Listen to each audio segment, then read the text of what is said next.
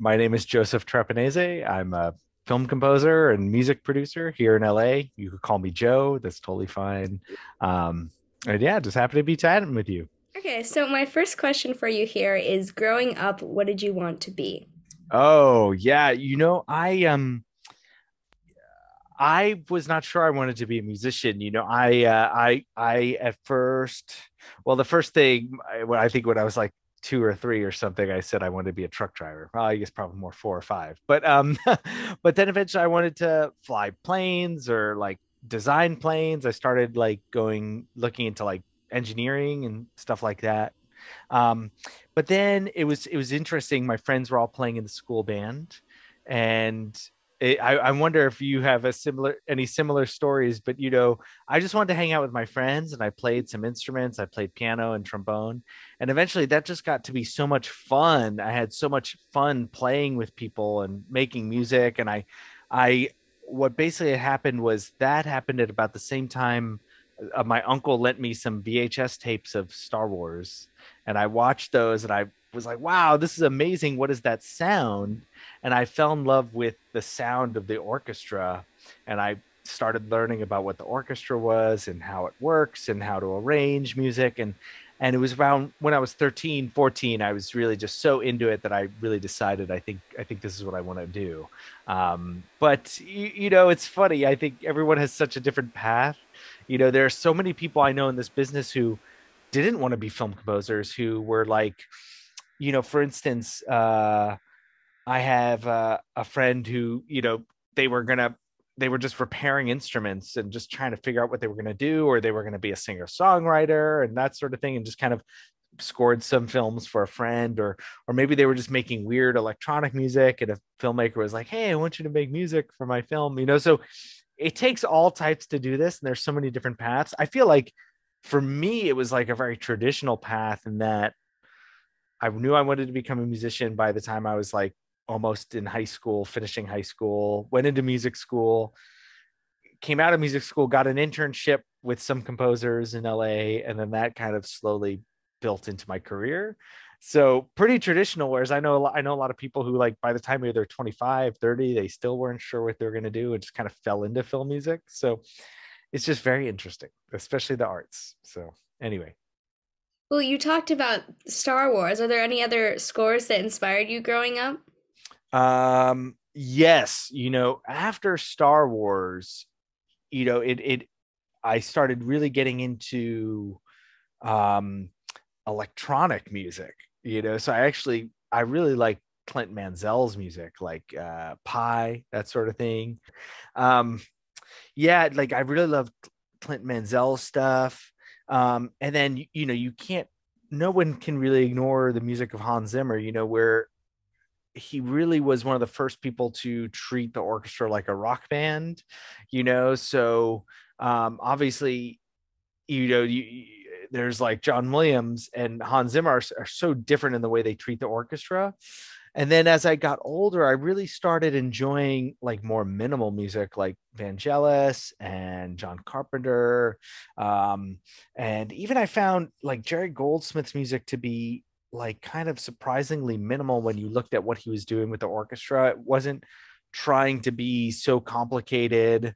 You know, one of my composition teachers out here in LA was looking at this film cue I was writing and was like, "Oh, you're you're working too hard." You know, I was writing all these notes and I started looking at Jerry Goldsmith, and yeah, there might be a lot of notes on the page, but he was he had some really simple ideas going. It was really straightforward. So I don't know. I don't know how to think of that. Maybe I'll let you see if you can synthesize all that in your head. But it, it's interesting. I feel like I'm a product of so many different ways of thinking about music, and I'm slowly trying to find my own way of thinking about music.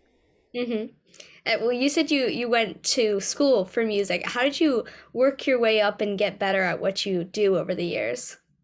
Well, you know, so much of it for me was about not being the best. Uh, and I still feel like I'm not the best, so I'm always kicking my butt trying to get better. I, I think you know when I was in in the band in school, I was definitely never the best musician. So there were better musicians around me that I learned from, and I eventually got to be better and better to where I was really good in high school. But then when I got to college, you know, I was from I'm I went to public school Jersey City, like growing up in an urban community, um, it was very rare for someone like me to go to a conservatory like Manhattan School of Music.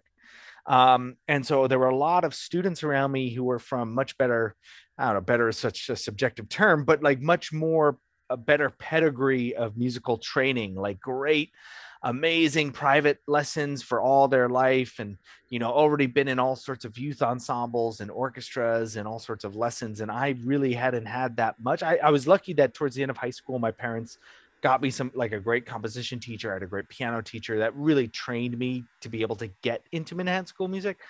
But once i got there you know everyone it felt like i was one of the worst worst musicians there. And so just being in that i think just kicked my butt to really like um, get better and better. And I spent a lot of time in the library, like studying scores. I, it's interesting now that I'm older and or now that technology is better, it's amazing how many scores are within our grasp. But even in the early 2000s, when I was in college, you know, every, uh, you couldn't get scores online really like you can now so you i was in the library a lot and i remember the library would have listening stations and you'd sit down and put in the cd and listen to the music and read the score and i feel lucky that i was kind of forced to do that whereas now there's so much grabbing our attention that even though the resources are out there it's harder to kind of sit down and like really focus so it'll be interesting to hear are you going to are you going to go to music school do you think or is i'm going to school for acting but also i'm going to be working on music at the same time so that should be so, I, I want to interview you in 10 years and see what your your your school experience was like because it, it, it is interesting I, I don't know what I'd do in college now with I mean, obviously we had the internet. I didn't grow up in, in a cave, but uh, but but it is very different uh, 20 years on from when I went to college. So, how did you first get into the industry? What was your first job working?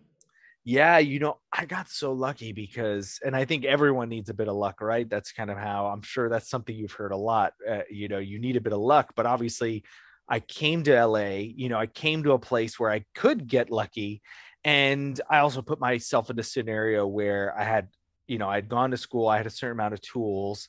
And so all that kind of translates into luck, right? You get, you go to a place where you can get lucky. You have already put in a lot of study, so you have skills, and then that's how luck happens. And for me specifically, I knew my family would be a little weirded out if I just got up and moved to Hollywood. So I, I applied to UCLA. I got a really good scholarship to do grad work at UCLA, which is awesome to and, and, that also gave me a sense of community. To be honest, that was actually one of the best things about going to UCLA is not not just that it's a great school, but that there's a film program, there's a music program. I made all these new friends in a, in, a, in a new town. I didn't know anyone here basically. I knew a couple of people, but it was great to immediately know people. But literally the same week that classes started, I started an internship and I, I made I made it a goal of mine that summer to just apply to internships at studios. And and first of all that's a lot harder than it sounds. It's hard to find out about the internships. And then once you start applying i found out that i was one of 40 resumes that came in. And i feel like that's low. I know i've heard of studios getting 100 200 resumes. So the fact that a i found a place to apply. B my resume went to the top of the list C, I interviewed and they liked me and gave me the internship. All of that is so lucky. But I got so lucky to the point that I almost I almost dropped out of school because that internship got me so busy and I was making and delivering music. Not necessarily as a composer, but I was arranging, I was but I was also doing coffee runs, I was doing music copying, I was cleaning the studio, I was building Pro Tools sessions and I like to say that in that internship I'd learn more in one week than I would in you know a whole semester of school because being in a studio is so different. You know you, you're talking about acting. I imagine it's the same thing. If you you know from obviously there's a craft to acting so you're going to go learn that craft but your first week on a real set is going to be such a different experience than all that school you did. And and so that's what it was like for me. And i was just so fortunate that because of the training i did plus and this is a big elephant in the room that when i mentor students, I, I, t- I tell them like, you need to be a great collaborator. You need to be a good friend. You need to be a good human being because when you're in the studio, you might be working 12 hours a day 14 hours a day with these people you're going to see them more than they see their kids their family and so you want to be a good person and helpful and easy to get along with easy to talk to so i think not only did i have a skill set not only was I young and cheap, I mean, that's another thing too. I was new to town. I was getting paid like 15 bucks an hour, which is like so low for like living in Hollywood. It's like nothing. I had like weekend job to like help me pay the rent, you know. So like, you know, all that stuff being young, working for cheap, but also having the skills, having the aptitude to learn. I just I listened a lot. I learned a lot. I would try to I would write everything down so I got things right. Um, all of that plays into the fact that hey there's this guy joe. He was really helpful. Maybe he could help you. And that first internship kind of parlayed itself into other apprentice positions and and assistant positions that over the next couple of years i eventually got a recommendation to daft punk. I got a recommendation to chris beck. I got a recommendation to these projects that really kind of uh, made people more aware of who I was artistically, not just who I was as a person. So, you know, that's why I like to say I feel like I have a very traditional story that, like, you know, I started here and it kind of gradually built itself.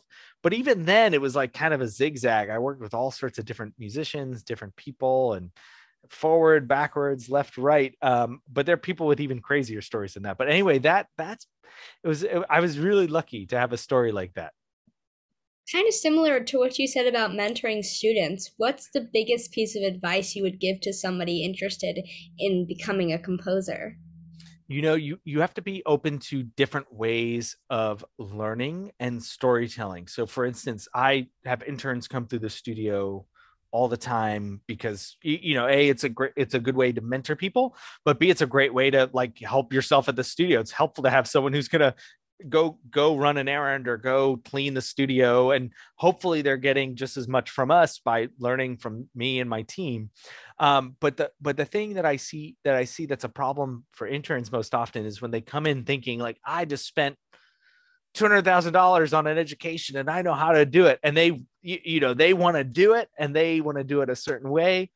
Whereas you know there's that famous line in uh, Star Wars, right? Yoda says, You have to unlearn what you have learned. And that really is, I think, part of the process of becoming a professional is learning how to take all this knowledge that you've acquired and being able to com- compartmentalize it and keep it ready for when you need it. Um, but also be ready for new things and be ready to change the way you think. And that's kind of you know, I actually spent this morning with an amazing musician who's a specialist in medieval instruments. And I had not, you know, that's something I've been meaning to do more and more of lately, spend more time with musicians. And, you know, I'm trying to figure out how to produce this new score I'm writing with a certain type of quality, with older instruments, with quote unquote period instruments. And there's so much that I've learned that I need to unlearn in order to be able to approach this type of music as well as tell this story deal with producers. I mean another great piece of advice that goes hand in hand is I got, I got a great and i didn't i didn't say that i didn't invent this. Someone said this to me said joe you're no longer in the music business. You are in the movie business. So it is your job to understand how movies are made and adapt to that so rather than asking filmmakers, well, you know, what key do you want this in? What type of instrumentation do you want? You know, that would be awful. No one would ever work with me. It's my job to meet them where they are. So I have to, when I sit down with a filmmaker, when I sit down with a producer, when I sit down with an actor, even, I'm trying to meet them at their level so I could help them tell their story. It just happens that I'm a musician. So I'm going to try to listen to them and hear them out. What story are you trying to tell? What uh, type of emotions are you trying to get from the audience? And then it's my job to figure out how to deliver that musically. And a lot of that is not only learning like how to produce how to record all that stuff how to tell story but it's also unlearning because you learn in school you learn in in in class in a very structured environment where it's like this is the way you do this this is the way you do that. And yes that's great. That's going to be really helpful to you but there are going to be times where Z comes before A and two plus two equals 400. You know, there are going to be times where things just don't make sense. And, and and the traditional way of doing something you're going to have to rethink how to do that because modern production modern storytelling is so different from classical you know so so you just have to be ready something that i like to tell people is like creativity storytelling ideas like that's where hollywood makes its money. That's the magic of hollywood. The magic of hollywood is ideas and creativity and problem solving and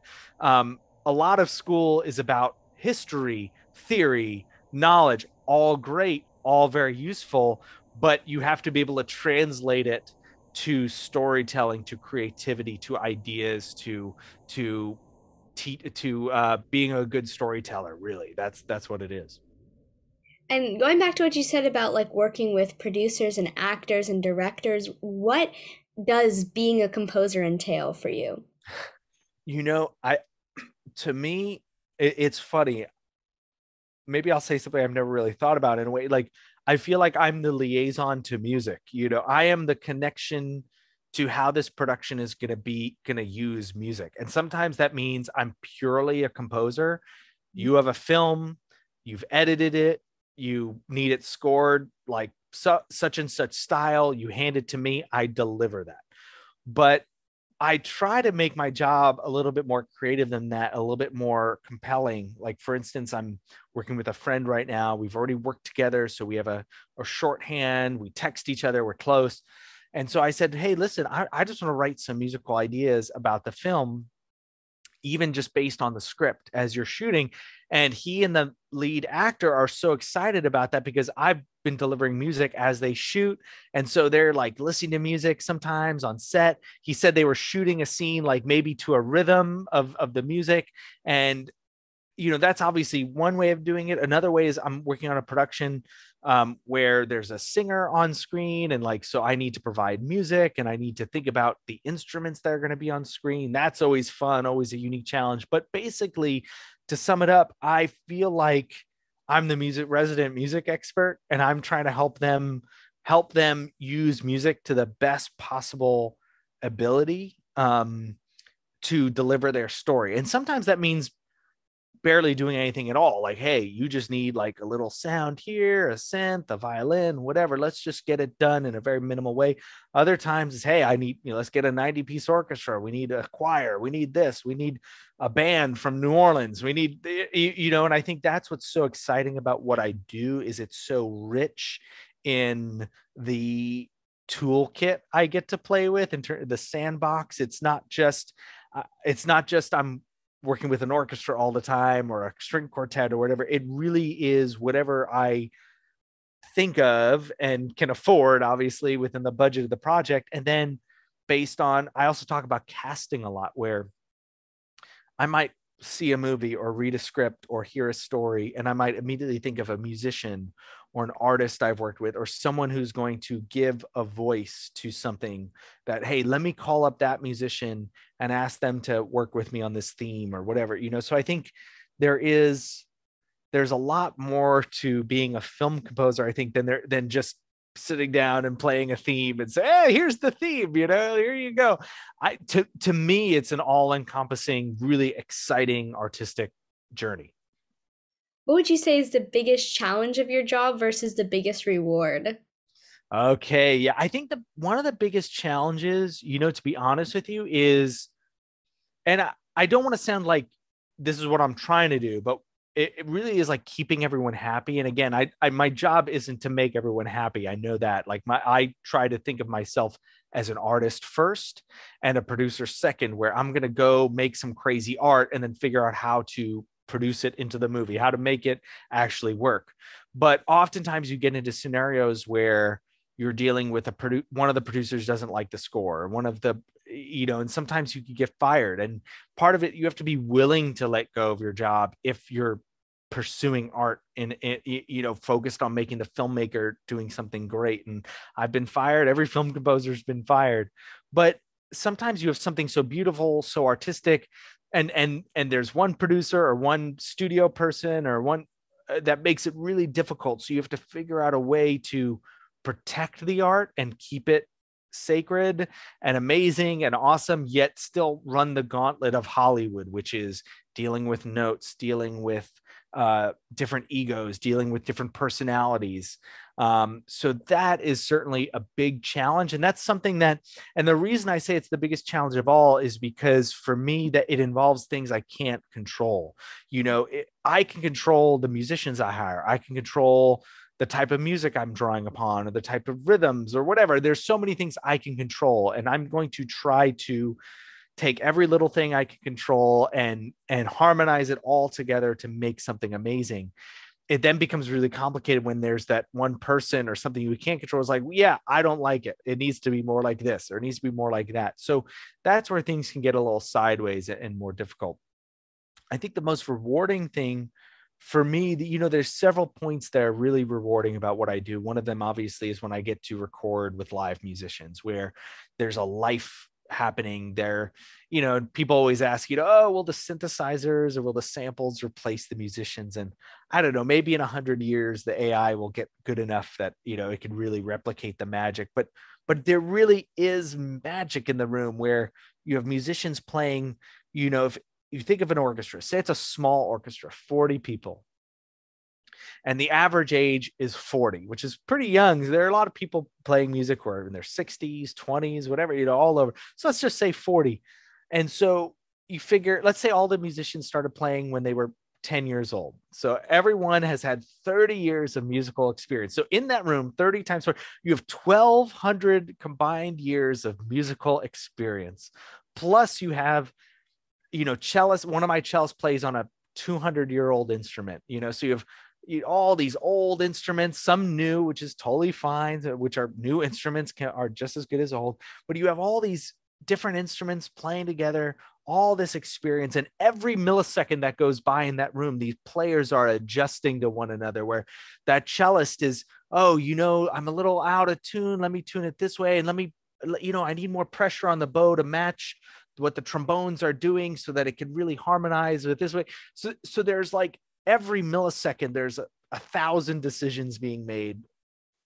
It, the music just comes to life in a way that no matter how hard you work at a mock-up or a sample of that music, there's so much life being imbued by these musicians that that is just truly magical. Even if you just write a bunch of whole notes, you know, oh, here just C major chord, whole note, it sounds amazing because there's just so much life happening in that room and it's vibrating the air molecules of this room that's hitting the microphones and being recorded in a way that is just that's the movie magic. And and it's hard to repeat that um, with anything other than the real thing.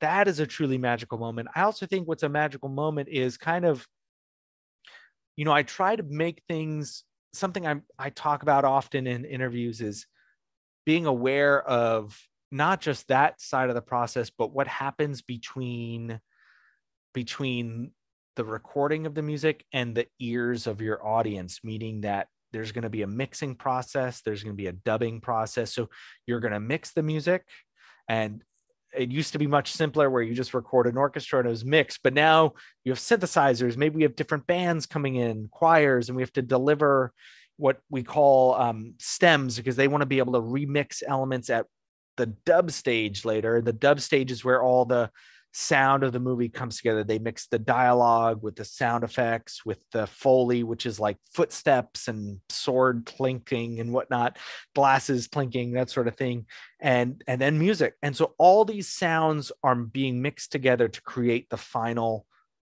movie, the final film, whatever you want to call it, TV show, final thing. And so if you have an understanding of how that process works and the different people involved, the mix engineers, the music editor, and you understand how to deliver for that, you can hopefully reach a point where on a project where you have a good relationship with the filmmaker and that team, you could really have a magical experience in the movie theater. And this is something that it happen it doesn't happen very often because there are so many moving pieces politics, film producers, studios, remixing, rewriting.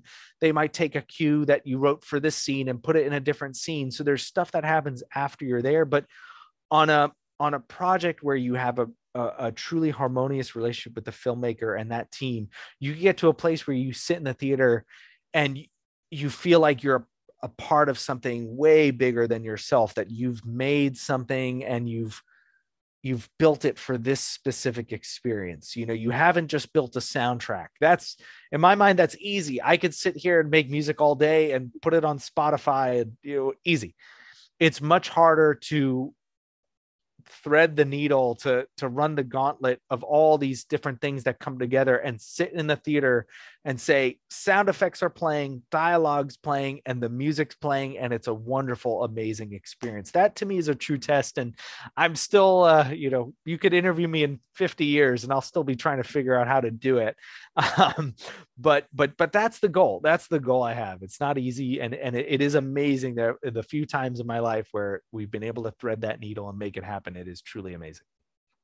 How would you describe yourself as a composer Mm. You know, I, I I view myself as a composer as a hmm. I view myself as like almost like a conductor of sound you know like i'm there's this there's a great conducting exercise that you usually do when you first take conducting class and generally a conducting class is usually like 10 20 30 people and they ask you what instrument do you play and they ask you to bring in your instrument and so when I'm so so they'll do this exercise where if it's my turn, I stand in front of the group and everyone's playing the instrument, all the rest of the class, and there's no music or anything, but I have to try to in real time like call upon people to deliver a sound, you know. So so if you know there's a trombonist over there, I might look at them and say,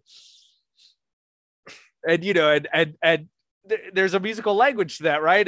I used to play trombone. If, if someone looked at me and said, you know, I would, I, I know what to play. I was like, oh, okay. Ah, you know, like I'd give them that sound. Or if I said, you know, like there's, or, you know, if I look at the trombone and say, oh, you know, or, you know, so, so it's funny. How would I say that? Like conductor of sound, conductor of, you know, I view myself as a composer. I'm trying to do that, but with a very different palette. And, and I'm trying, and I have a filmmaker standing behind me say, okay, Joe, I want it to be this. And It's okay uh, I'm gonna have two oboes and a clarinet and three cellos and a trombone. That's my musical palette and four synthesizers. Okay, now everyone, let's do this, you know. So, and sometimes, you know, sometimes what's fun about my job, sometimes there's a singer, there's a soloist, there's a an artist I'm working with who I have to what are what are they trying to do? How are we going to work together? You know, I think it's like a conductor of sound. Maybe that's that sounds like a romantic thing to say. I'm a conductor of sound but but but for a filmmaker you know i'm i have a i have someone bossing me around you know so that makes it more complicated when it comes to genres what are your favorite types of projects to work on i you know i actually have a film coming out in a couple weeks I, it's a pretty mature film, so I, I think you could probably watch it. But it's called Spiderhead. It's gonna be on Netflix, and it is actually in one of my favorite genres to do, which is psychological thriller. Like I love being able to um, lead people on and fool people and take people on a journey and get people excited and add tension and drama. And it's a bit of sci-fi too which is also a favorite like that allows you i feel like sci-fi allows you to mix media in a way that's really interesting. So like i'm i have a lot of acoustic instrumentation but i also have a lot of uh, synthesized instrumentation. I have a lot of vocals and I've manipulated the vocals digitally. So that's another interesting thing that that genre allows me to do. It allows me to really kind of use all these things that I have learned. Like uh, one thing I didn't mention earlier is not only was I playing in those bands when I was younger, but I was a big computer dork and synth geek. So I loved playing, making music in the computer. So not only was I playing in youth orchestras, but I was making music on a you know a crappy old pc so i think that that is the reason i love psychological thriller and especially like with a sci-fi tilt is because it allows me to use all those tools and and and, and really synthesize something that feels to me like something i'm the strongest at. A couple more general questions before i move into like more specifically sure stuff. sure. Um what in your mind makes like a really good score you know if it's if it's compelling and and i guess compelling is a weird word if it if it if it envelops you in the movie a little bit more i think meaning that it feels unique to the film and it keeps you engaged with the film. I think that is it's funny. I used to say when I was much younger that oh, you know, good score is transparent. It allows the film to sing, but I also feel that that's underselling how important and vital music is and how effective it can be. So I I I often say like I want the music to be a vital living part of the storytelling that it it, it it completes the movie so to speak that without the score the film would be a lot weaker that to me a compelling score or, or a good score or a successful score is something that uh, helps the movie deliver on what it's trying to do if you could work with anyone in the industry who would you work with you know it's uh, let's see you know there was there was an amazing singer years ago. Oh, he just passed away. It made me so sad. I really wanted to work with Bill Withers someday, just because I love his music so much. He, he has this elegant simplicity and soulfulness, and he has such an amazing story where he was, you know, in the military, I think, and then he was like building airplane parts. He was working in a factory in LA, and he just started singing, and he'd have this little band, and he'd all of a sudden, like he becomes a a big star, but he always had this hum- humility about him because of his roots. And so I always wanted to, uh, I, I feel similar, not in any way that I was in the military or, or building airplanes or anything, but just the, the thought that, you know, my parents were teachers, my whole family, it's very, it's a very humble family I, I come from. And I approach music that way with this humility and this service and so I, I, find there's something resonant about that. He was he was someone I really wanted to work with, and I think people like that is what connects it. It's very hard in Hollywood to find those type of people because Hollywood is full of crazy egos and crazy people. So I I tend to harmonize with people who really approach it like storytelling first, and kind of we're all we're all like really just excited to be here and excited to make something that hopefully connects with the audience. Those are the people I want to work with, and I'll try to think of more good examples. I think that's the perfect transition to move into stuff that you've worked on. I'm going to start with TV shows and then I'll move to movies. You have like a huge list of stuff, so I can't even begin to like cover. But I'll I'm gonna start with um The Witcher, and I'm wondering how you approached it when you first started working on it, especially coming in on season two.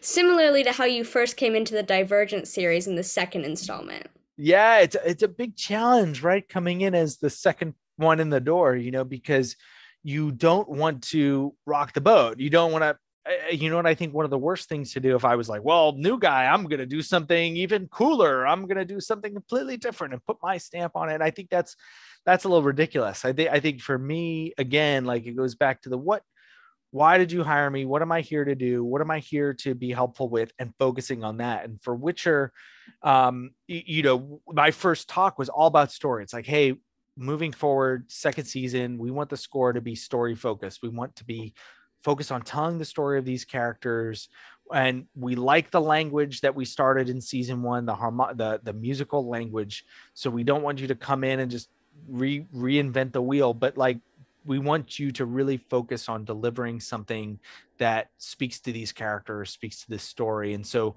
that was my focus. The thing that was really hard about season two that i'm hoping we um that that I'm already actively trying to improve for season three and beyond is like I feel like we were all in quarantine for season two, like uh, just pandemic related stuff. So I didn't have as much live musical content as as I wanted. Um, so uh, I feel like there's a lot more we could do to connect to the Polish roots of mm-hmm. The Witcher, and so that's something I'm really like trying to trying to hone in on and get myself out of the studio you know and i think that's season two is really about just learning the story, reading the books, reading the scripts, getting up to speed. Similar in a way, you had mentioned Divergent mm. was reading those books, understanding that story, connecting with that character. You know, a lot of what I do, I jokingly say I'm like a method composer. I'm trying to live in the world that mm. that that we're operating in so the music speaks to the characters and the story at a visceral level. It's not just decoration that you add later. And if I'm going to give myself one critique for The Witcher, I think I think season 2, I think there were some moments that could have lived more with the story and that feels a little decorative and that's something I'm working on for upcoming seasons is like really just entrenching myself even more in the characters and in the story and in the sound i think the sonics but anyway yeah that was that was a huge challenge because I'm trying to be respectful. Like we use some of the themes from season one. I've no, there's not, that's not a problem with me. I'm trying to be respectful of the world that was created. Yet I'm the new guy. Like everyone else is like season two. Yeah, we know how this is done. And I'm like, I don't know how any of this is done. How are we doing this? I'm like relearning things. But, you know, that's where the spirit of collaboration is so great. Like, you know the producers were so welcoming always answering questions. Joey the actor we'd be just like this on zoom. I think we're supposed to zoom later this week to talk about stuff for upcoming seasons because because we're trying to they're trying to get me up to speed and and and and and make sure that i'm in the family and creating great music for them as well. And and that's something that really i learned very quickly in la and in hollywood is forget the egos forget all that stuff. Everyone's generally just trying to make something good. Mm-hmm. And so if someone's behaving badly because their ego, whatever, let's forgive them because they're they're just trying to make something good and maybe they're feeling a little insecure. Luckily there was no one like that on The Witcher. Everyone was just there was no ego involved. So like let's just make something.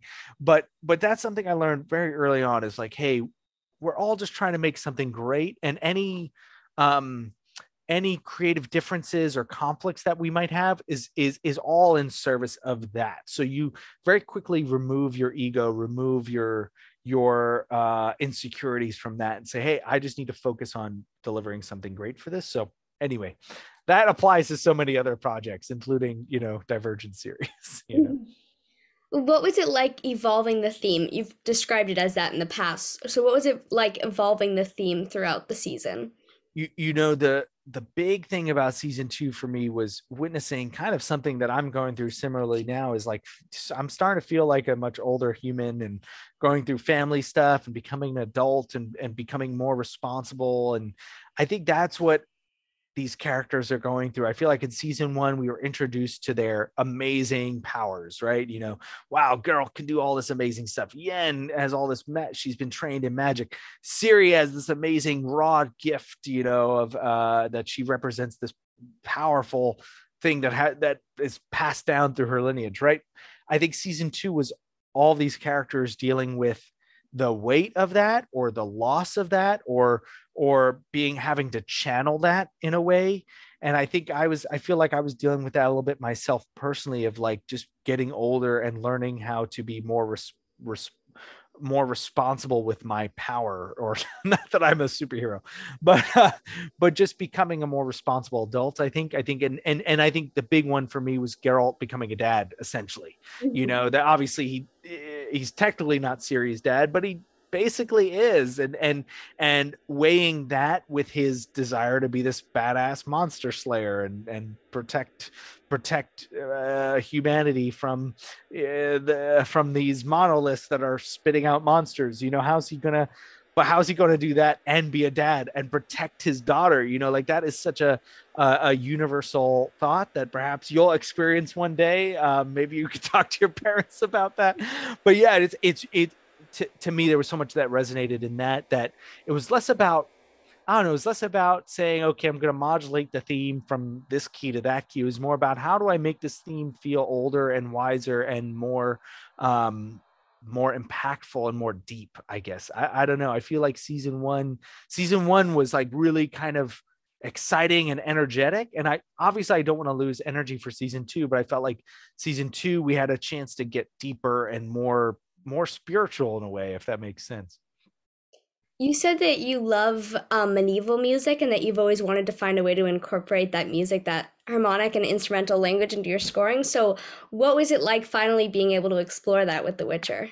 It, very difficult. I mean, the thing about medieval music, you know, there's a certain there's certain scales, there's certain keys, there's certain instrumentation that all work against scoring. You know, scoring is very fluid. You have to match certain keys, you have to match certain instrumentation from one scene to the next. And so a lot of medieval instruments are meant to be featured and play in certain keys and be played a certain way and to uh, you know so i have to one thing i'm doing right now is i'm trying to i'm trying to meet in the middle of like understand and learn about these instruments. So before I commit music to paper, I'm understanding what these instruments can and can't do, and I'm designing the music for them so it allows them to shine. You know, uh, Western classical music, quote unquote, obviously very broad term, you know, especially like classical music from the 1600s on, was about equalizing all the keys. This instrument can play in all the keys. This instrument can play very lyrically at any volume, can play with any sort of singer or instrument. Medieval music is, hey, these instruments can play at this volume in this key and in this way in this octave like that's all you got you know so i think i think i think i think that's the biggest challenge for me is being able to literally harmonize that with you know scoring is more subtle more underscore more uh, it's hard it's hard and i'm trying to do it in a way that you know you then factor in getting music approved and rewriting and re- and you know budgeting for recording. It gets very complicated but i'm trying to trying to master all these little moving pieces. It's not easy. I'm very grateful to have a team to help me. Um, uh, and it goes back to the point of being in LA that everyone's on the team trying to help you, trying to help get something done. So, what's it like evolving a score for particular characters as certain characters evolve throughout the season and focusing on those different aspects? You know, it's like I don't think about. It's funny. I'm you know i'm much more spiritual about it i i don't think like oh this character wants this so the music has to be this but I do try to shape the music to the general idea of like, where's this character going? What's this character trying to do? Mm. What's this character's destiny or what is their perceived destiny? So I think I'm writing their themes when I come into a season or come into a project and I'm starting early, I'm writing a theme. I'm I'm I'm thinking of that character's best self, right? Like what is this character's best self? What are they trying to become? What does this character represent? What type of emotions and sensibilities um, does this character represent? And that hopefully comes forward in the music i'm writing for them.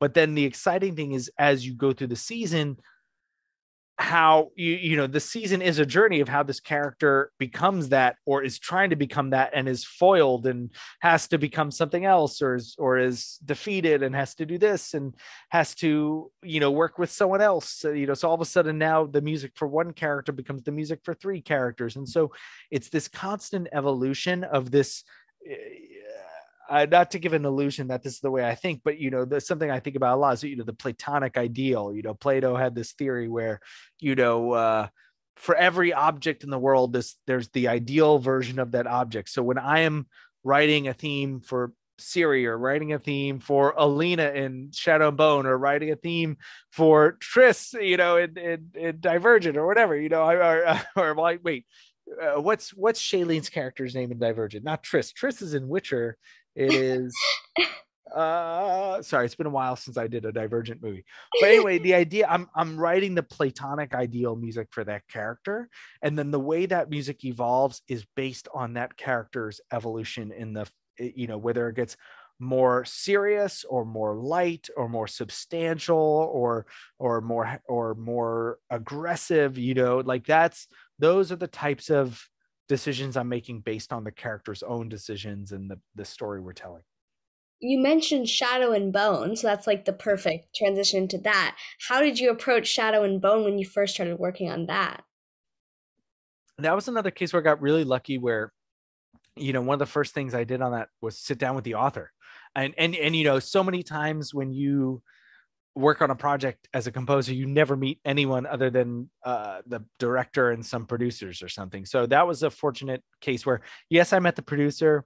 Yes, I spoke with the director, but I also met the author, and we we got to just talk about what is the true source of these of the inspiration for these characters. So my music was not just coming from, you know, what what we saw on screen, but also just what is the genesis of these characters, which I, th- I thought was really cool and and really fun to be able to do that. Sometimes it doesn't work like that. Sometimes that you have to always be open as a film composer to be wrong. I think by doing that, like for instance, I talk a lot about in Shadowbone has I was so wrong about the Shadowfold. The first theme I wrote for the Shadowfold was this kind of ambient, mysterious, like kind of like we go into this like uh, weird world and then you see it on screen and it's like the death star. It's like this imposing thing and there are these creatures that are going to come eat you.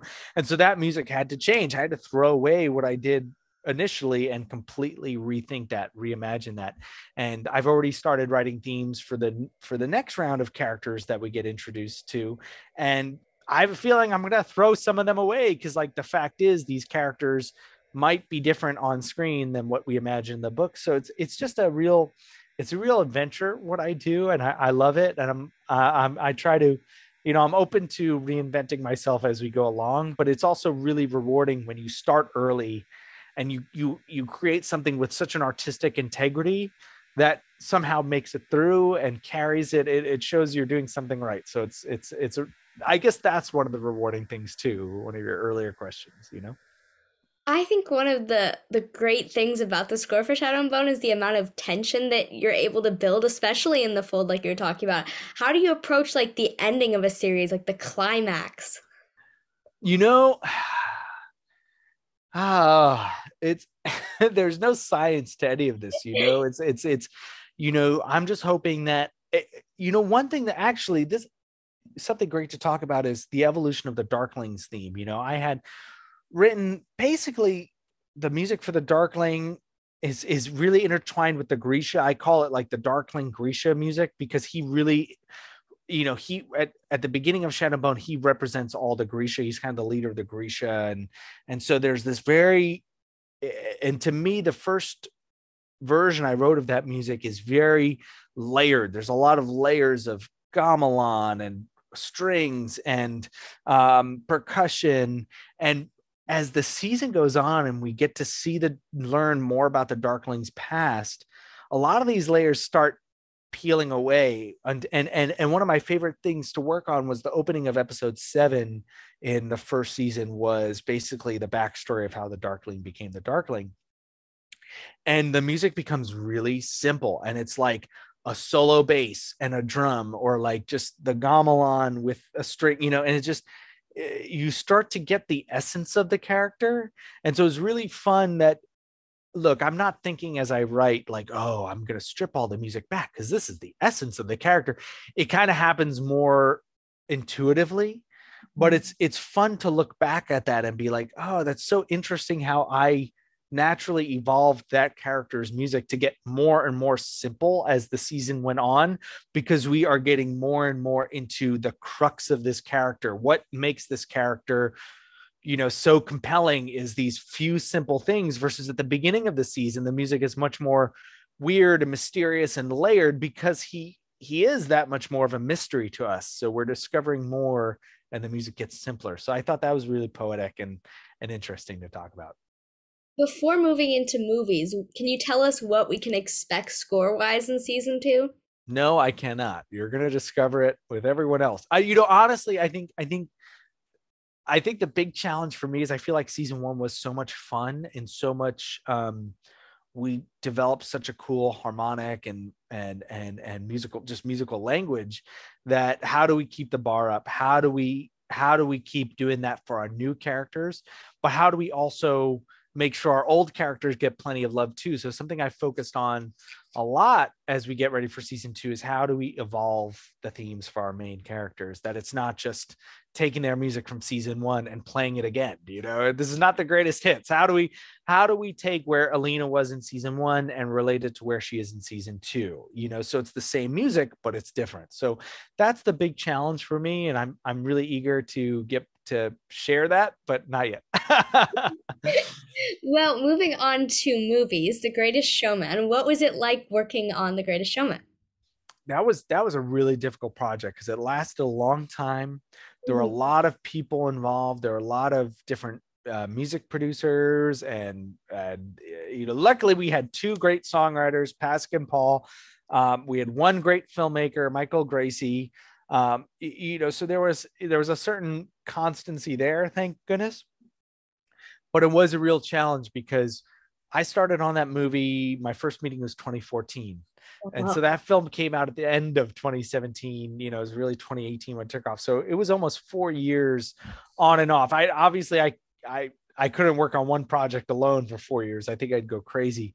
but it was a lot of like I worked a bunch in 2014, 2015, went away for a little while, they had other people come in work on stuff. I got a call 2015 i can't remember it was 2015 2016 we're shooting can you come help with never enough? You know so i was actually on set for never enough and i helped lay out the orchestra and and do the orchestration for that and develop that and then i went away and i didn't hear anything for months and then i come back and hey we're finally wrapping this up. Can you help finish the production for these songs? So it was it was a real challenge just purely from a logistical um uh just being being calm and patient and dealing with different music producers different needs for for both the studio and the album and the and the movie itself versus what the singers were doing. And and oh it was it was a challenge. And the goal hopefully it really is amazing that that project just took off and became a part of people you know my I have a nephew who I think dressed up as you know Hugh Jackman for like a whole year, you know, and and and, and it was amazing to see that because,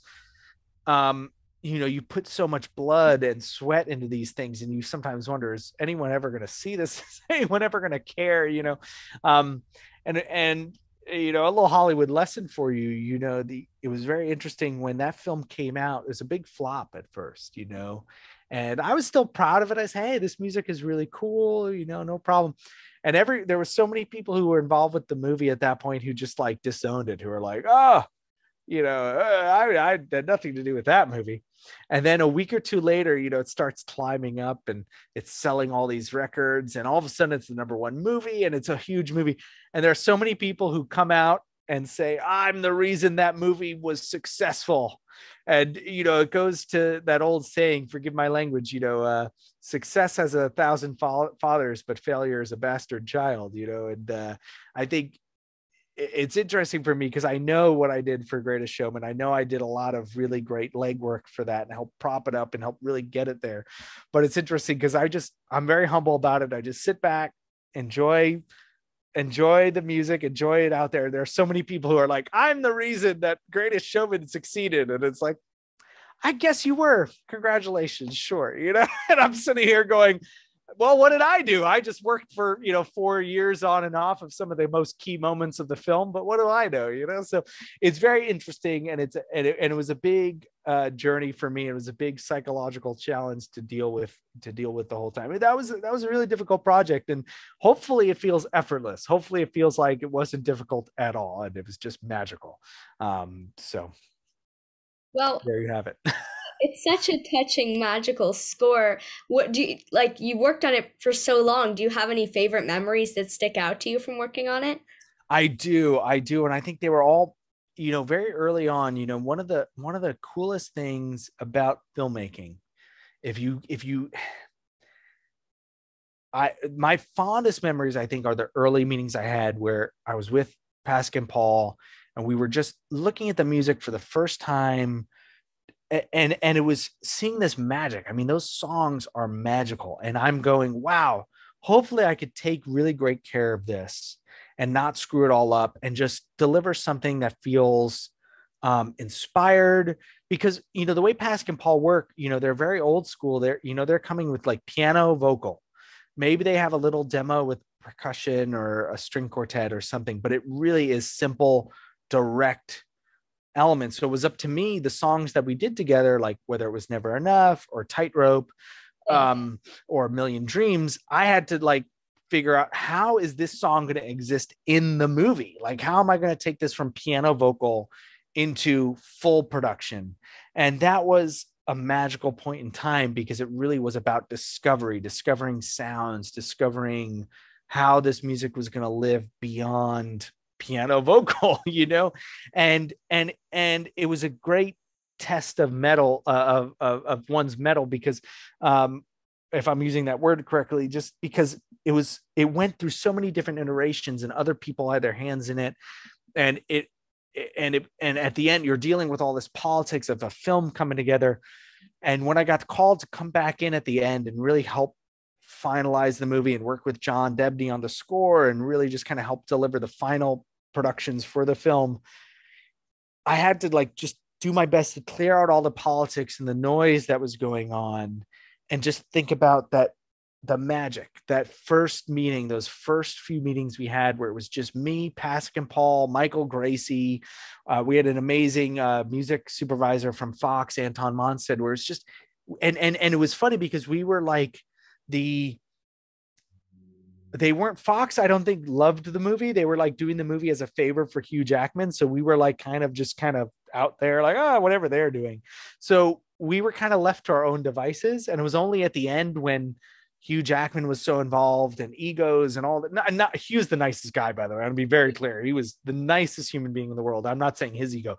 It's more of like just the general ego of making a big movie that costs a lot of money and is a big, you know, has has the potential to succeed or fail it got really difficult with the politicking. So, um, you know, what it became about at the end for me was just closing my eyes and taking a few deep breaths and really just trying to remember the magic that is in these songs and delivering on that. And it was not easy. It was really difficult. And um, there were a lot of people. I remember doing these late night sessions with orchestra, and there were a lot of people in the booth kind of suggesting different stuff. And, you know, it, it was very very confusing in a way, but it was also it made me feel alive because I said I'm here because I represent what helped brought this music to life at the beginning. So I'm going to try to help preserve that magic and see it through to the end. So I don't know. Hopefully, I I, I hopefully I don't know. I don't know what I hope. I, do. I, I, I'm just glad to be part of something, you know, like it's amazing when the phone rings. Joe, we need you to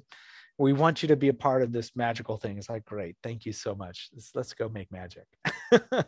No magic movie is the the live action Lady and the Tramp. Oh. what, what was your experience working on that and your approach to working on like reimagining such like a classic Disney movie and story?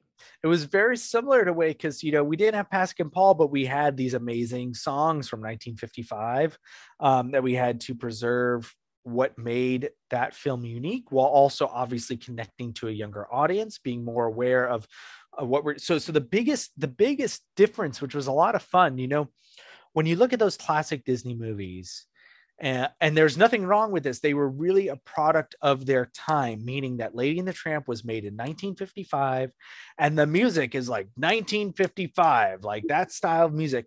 However the story is like early 1900s America. And mm-hmm. so the first thing that the director and I did, and this is where I got lucky. That filmmaker is a close friend of mine. We've done several projects together. We get along great. And so before we had a real production meeting or did anything, we just went to our local bar and just had a drink and just were like, what's what's the music in this movie doing? Like, what are we trying to do with the music in this movie? And the the the the two things that we really came up with were a we wanted the music to be of that time. So rather than you know Disney 2019, we wanted to be 1910 New Orleans or 1910 Southern US, you know? And so that set us off on this whole journey of connecting with the authentic music of that era and working with musicians who can truly represent the authentic music of that era. So we went to New Orleans and recorded some amazing musicians who, you know, half of them don't even read music because they grew up playing clarinet or trombone from a very early age in that style. They don't need to read music. They're just playing um, uh, they they just know what to do because they're so ingrained in that style. And so I just had to let that magic happen and record it and and obviously guided. I'm I'm not just saying I'll do whatever. We came and said this is what we're trying to do. We recorded like we recorded He's a Tramp, that classic song, but in that style. And so we were able to use that in the film a little bit. The other thing we wanted to do was, you know, I my whole pitch to Charlie, our, our filmmaker, was, hey, you know, at that point in time, music wasn't just a a Spotify, it wasn't just it the only way to have music was to have a piano in your house or to go see a musician. Like there was not this easy way to like hang with music. You had to music was so music was alive. Music was live and living. And so i wanted to make sure obviously there's a certain element to the score that feels like that but that we hear the musicians that's a re- there's a real patina to the score that feels alive but also that the music is in the film. So he actually wound up making the main characters like they play music on screen and there is a harmonica player on screen and that and there is just there's this on screen musical presence. So you know that film i wish i wish more people saw that movie i don't think many people saw the movie and it's always heartbreaking when you feel like the movie doesn't connect at a certain level but at the same time i'm still like you said very proud of the magic we created because i feel that you know we put a stamp on it that gave it a right to exist. I think one of the danger things, dangerous things when you quote unquote do a remake or revisit an old property or an old franchise or whatever is not give it a reason for being. And. I feel like in terms of the musical identity, in terms of the amazing people we work with, and I and I haven't even yet yet mentioned Janelle Monáe and her team, Nate and Roman, who are part of the new cat song, and he's a tramp.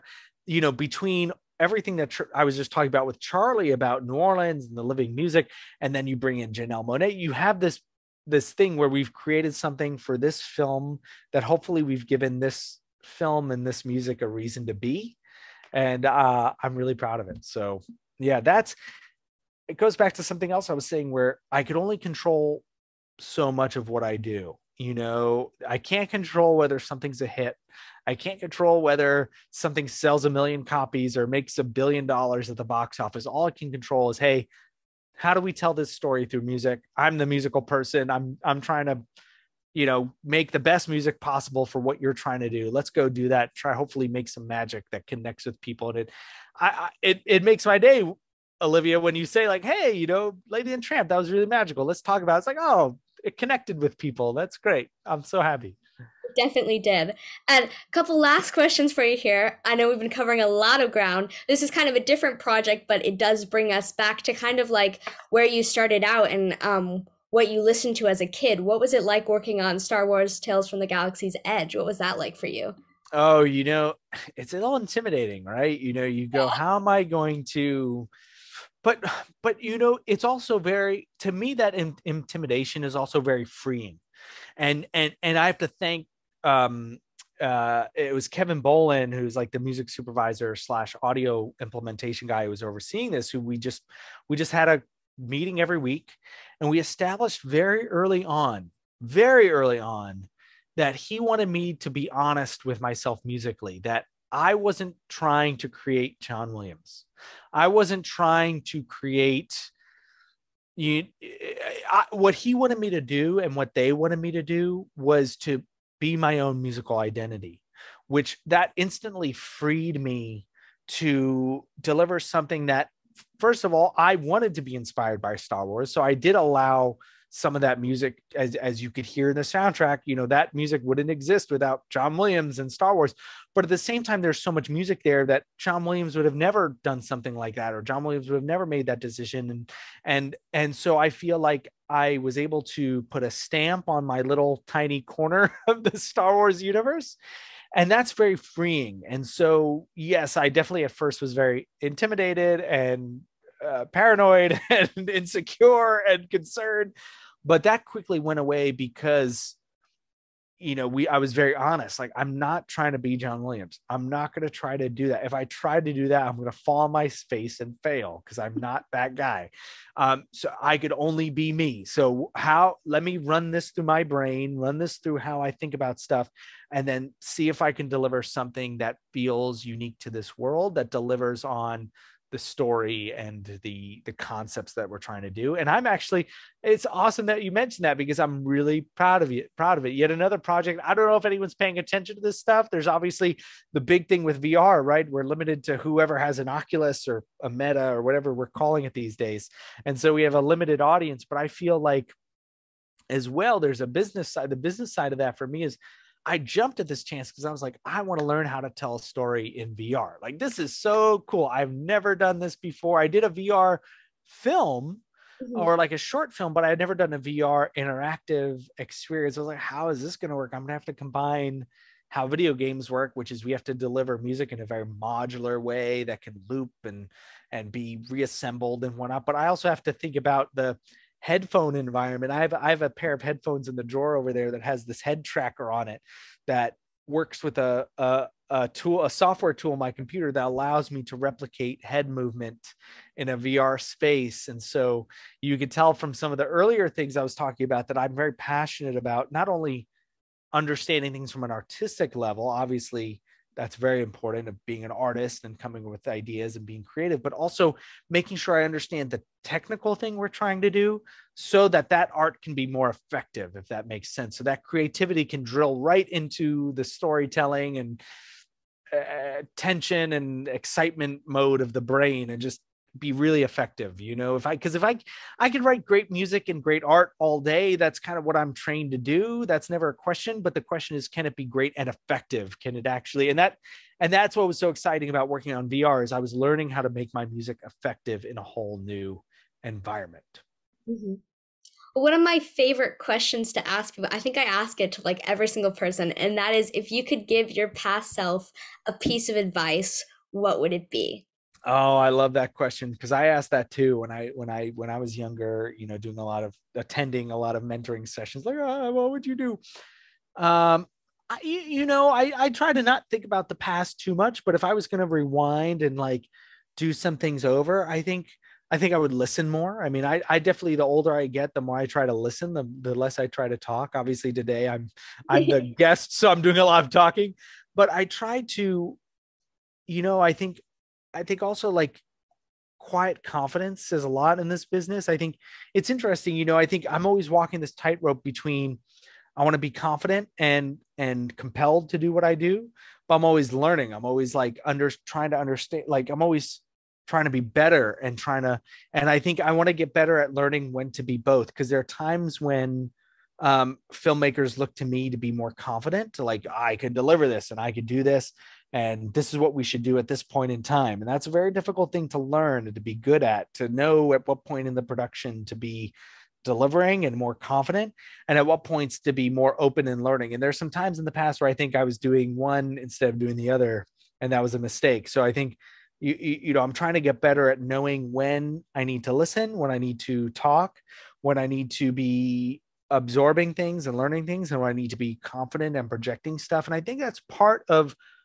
what it means to be a composer right now because it's you know we have this romantic idea. I'd, I'd be curious. I want to hear what you think of the word composer because i think when i was younger you know when you think of the word composer the the imprint is always oh some mad genius with crazy hair sitting in a room writing music and then you know the, music comes out of the room and it's amazing.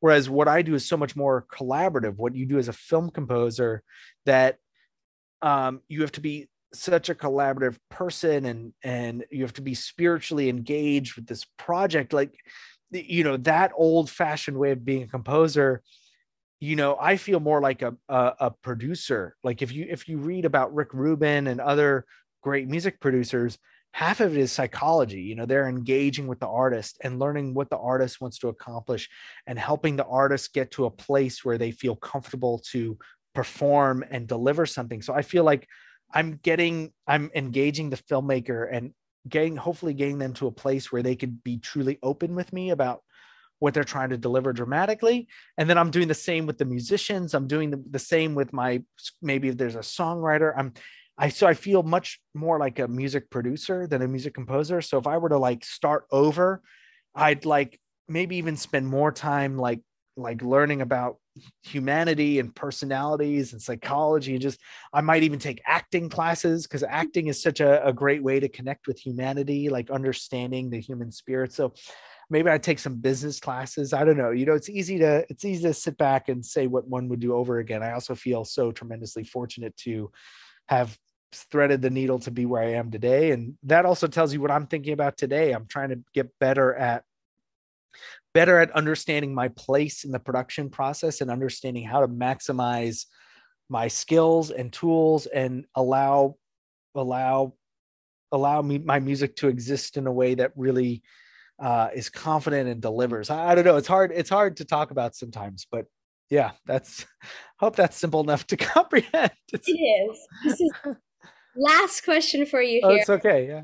I know you have um uh Spiderhead which comes out June 17th and and you work on Shadow and Bone, you're working on The Witcher. Can you tell us just tell people what to look forward to, what to look out for you coming up is there anything you want to like that you're currently working on that you can talk sure. about? Sure. There's another there's another project that comes out in July called America the Beautiful, and it's uh it's on Disney Plus, it's, but it's Nat Geo, and it's um it's all about the different wildlife of America. But it's a really unique way of telling the story of the wildlife of America. It's it's like a very engaging human way of telling it's hard for, i'm still trying to wrap my head around how best to talk about it because i've just been living in it for the last couple of years and i think there's something special about the music to me because it's so many nature series you watch the series and you could kind of predict like i mm-hmm. just watched a new one that i found a little annoying because it was it's like oh it's david attenborough again and the music is like really symphonic and you know there's something great about that don't get me wrong there's something timeless and beautiful about david attenborough's delivery as a narrator and the, the symphonic music but i feel like our our our series really connects to the human spirit of america in that we've connected with so many different cultures and peoples and um, spirits. And like we try to tell the story through different specific animals and and and and how they they are being heroic in their own way. I don't know. There's i'm going to get better at talking about it. I am a musician after all. I'm not so good at talking. If you're going to go to acting school you could teach me how to be a better talker. But uh, but I, I that's something I'm really proud of too. And I had never done a project like that. So it was really interesting to be immersed in that. Um, and so, yeah, that comes out in July. Busy, busy year ahead. My goodness. Th- those two are done, thankfully, but I have a lot more cooking um, that I'm excited to share with you soon, hopefully. Perfect. Thank you so much for answering all my questions. Thank you for the great questions, Olivia. You made it easy.